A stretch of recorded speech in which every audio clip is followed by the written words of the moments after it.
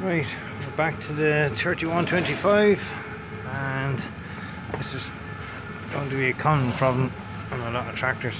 Um, I've taken off this cover. I'm currently doing the handbrake. Uh, this side plate cover that comes off with the drive shaft in between on between that shaft, that's your main drive, get your pinion shaft to your crown wheel uh, going through that. And what I have is a ring of these 10s this gear needs to come off. I have a circlip already taken off this big circlip. Now this gear needs to come off. And what's in the way is this guy down here.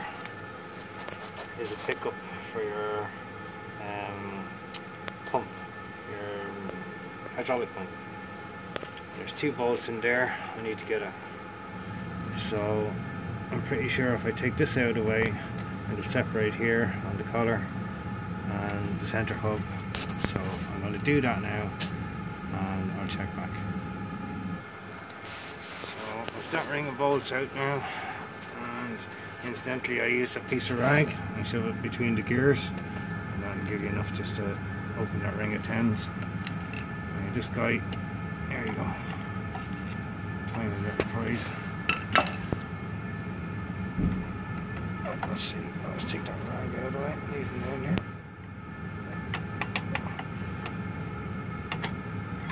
Now, so that's that guy disassembled.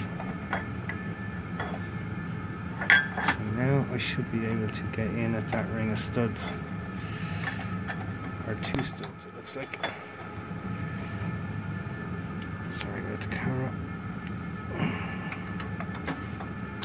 There's your frictions on your steel plates for your uh, what's that one for? That's your PTO clutch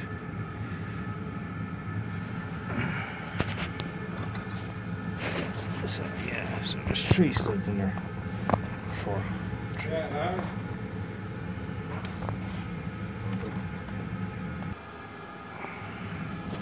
all I need now is it looks like a 5 mil, maybe a 6 uh, X head.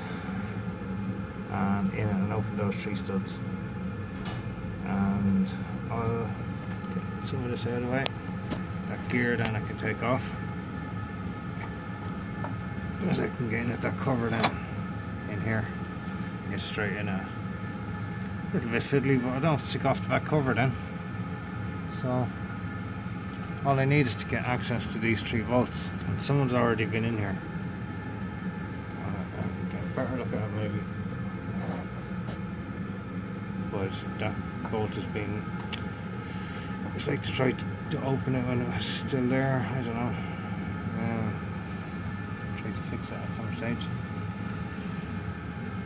Oh little sagas with the tractor every little mechanical issue tells a story.